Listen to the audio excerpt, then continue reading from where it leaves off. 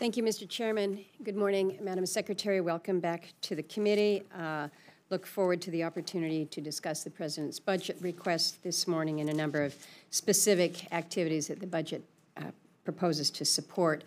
Uh, I appreciate uh, my colleague and the chairman leading off with a discussion about fire. It's, uh, it's pretty tough in Alaska right now. We're up to about 2.8 million acres burned already. We had 13 new fires just in the past 24 hours. Uh, the smoke issues, particularly in the interior, have been a real challenge this summer, but we've seen it out in other parts of, of the state as well. It's dry, and uh, the good news for us right now is that the rains are coming, and, and that's a positive, but uh, we need to make sure that we're not just praying for rain as the as the policy here to make sure that the fire threat uh, doesn't doesn't bring about further damage.